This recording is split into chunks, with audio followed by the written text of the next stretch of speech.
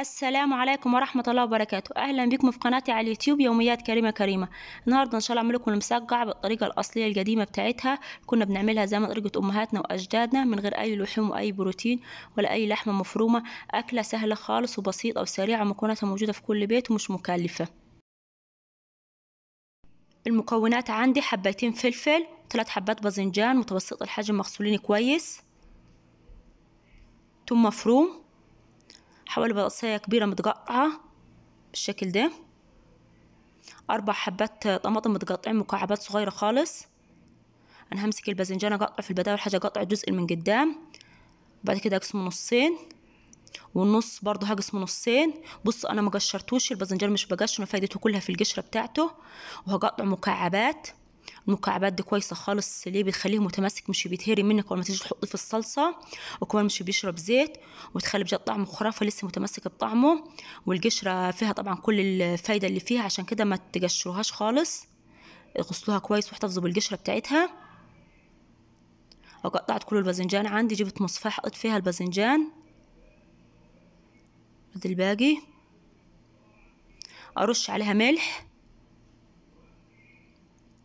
وأقلب فيها وأحط عليها ملح تاني وأركنها على جنب ربع ساعة طول ما أنا رايحة وجاية أقلب فيها عشان تنزل كل المية اللي فيها. بعد كده هقطع الفلفل الفلفل عندي هقطع مربعات. بس أطلع القشر منه سوري قصدي البذر منه. أمسك الفلفلة التانية وأقطعها مربعات بالشكل ده.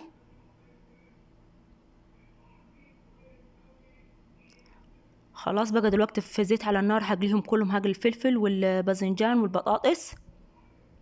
أهو قليته كله عندي. بصوا هذا الفلفل والبطاطس والباذنجان كله اتقلى. بس خلي في بالك إني أساسا الباذنجان اتقلى بملح عشان كده ما تكتريش الملح بعد كده.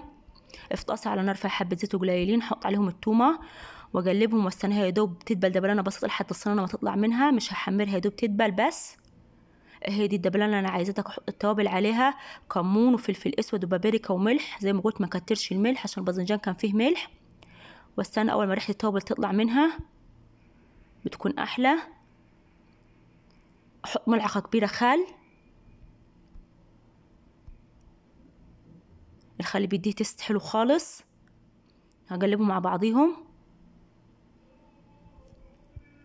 دلوقتي هحط الطماطم بتقطع مكعبات صغيرة دول أربع حبات طماطم وأغطي عليهم واستناهم لحد ما يتسبكوا. أهم حاجة أغطي عليهم مش يتسبكوا جامد يا دوب على كده الطماطم ما تدبل أو إيه تستوي سوا بسيط.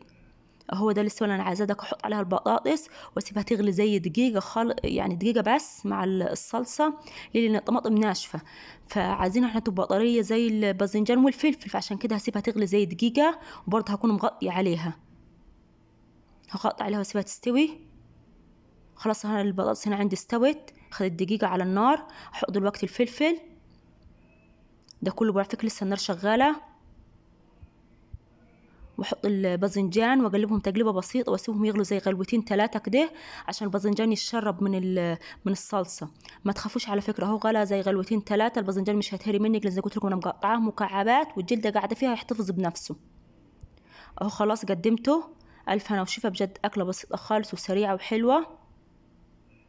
طعمها خرافي وخفيفة على الآخر من غير أي لحوم ولا أي بروتين.